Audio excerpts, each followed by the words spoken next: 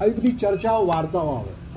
એ વાર્તામાં એ છે કે પેલો ઢોર ચીરી આવ્યો હોય ને એવો હોય ને ગંદા હાથવાળો હોય, પ્રવેશ કરવામાં જવા જાય. એટલે ભાઈ આ પૂજાનું સ્થળ છે, એમાં તું હાથ પગ ધોઈને આવે ચોખ્ખો થઈને આવે કારણ કે બધું ગંદકી હોય, નેચરલી જવાય ને. હવે આપણે દાખલા તરીકે સંડાસ કે કંઈ ગયા હતા, હાથ પગ ધોઈને તો જવું પડે કે નહીં? પ્રમાણિક વસ્તુ છે ને. તમે એવા ગંદા એવું કોઈ બ્રાહ્મણે વર્ષો પહેલાં કહ્યું હશે.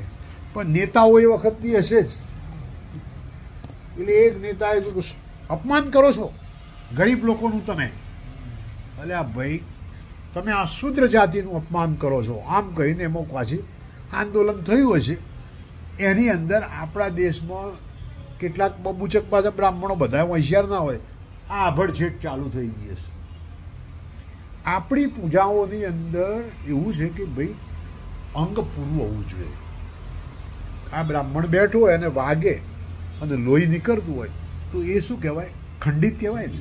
એટલે ફટ લઈને આપણે પૂજામાંથી ઊભો નથી કરી દેતા. અને વાગ્યું એટલે તું પૂજામાં ના બેસી શકે. ખ્યાલ આવ્યો?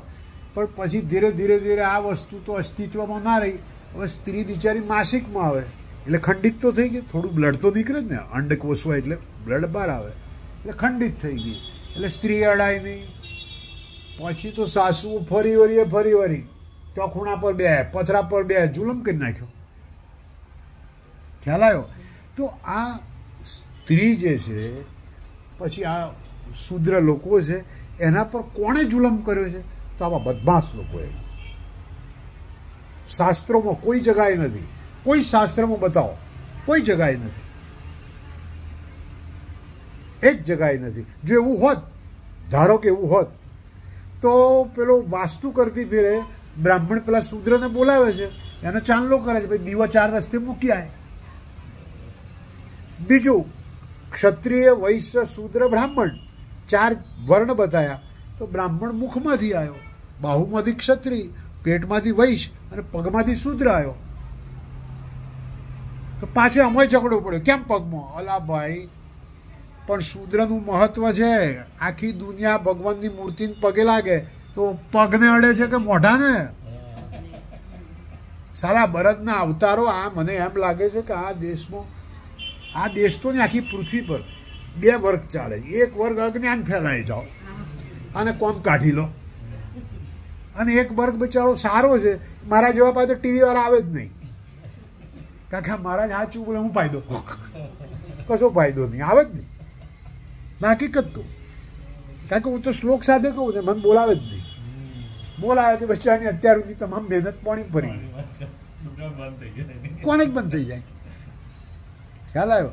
તો આપણા દેશની અંદર બહુ સમજવા જેવું છે, આપણા શાસ્ત્રો ખરેખર મહાન છે બેન.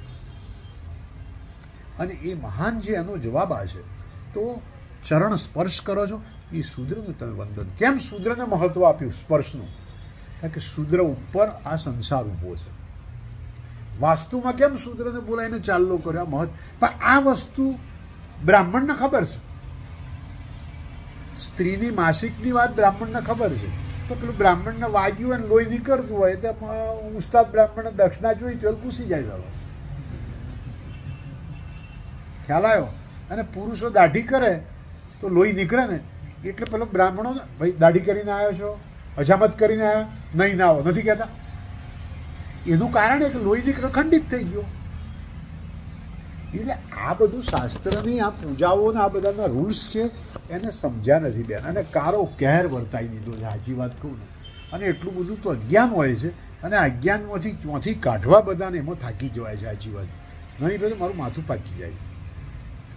સમજાવતા સમજાવતા. પણ હમ નહીં સમજેંગે બસ. તો એક વસ્તુ બહુ જ યાદ રાખો. ભગવાન જે આ દુનિયામાં જે શાસ્ત્રોની અંદર ભગવાન વિશે વર્ણન કરવામાં આવ્યું છે, બહુ સુંદર છે. દરેક ધર્મોએ કોશિશ કરી છે. દરેક ધર્મોએ. પણ જૂનામાં જૂનો ધર્મ સનાતન ધર્મ છે. તો એના પછી બધા જૈનો, જૈન ધર્મ બન્યા અને બધા જાત જાતના બધા બૌદ્ધ બન્યા ને બધા બને છે. પણ દરેકે ચાલતા ચાલતા તો ખરે માનસાણીની જ વાત કરે છે, માણસની. તો તારે આપણે માણસની જ વાત કરીએ છીએ.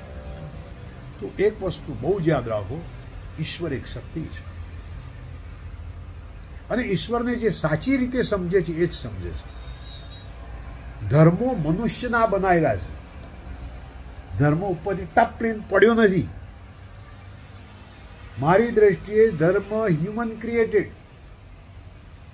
અને આમાં જુદી જુદી ફિલોસોફી છે. તો અહીં આગળ આપણે એને ફોલો કરવાનું છે અને ભગવાનને પ્રાર્થના કરવાની છે. માથું નમાઈ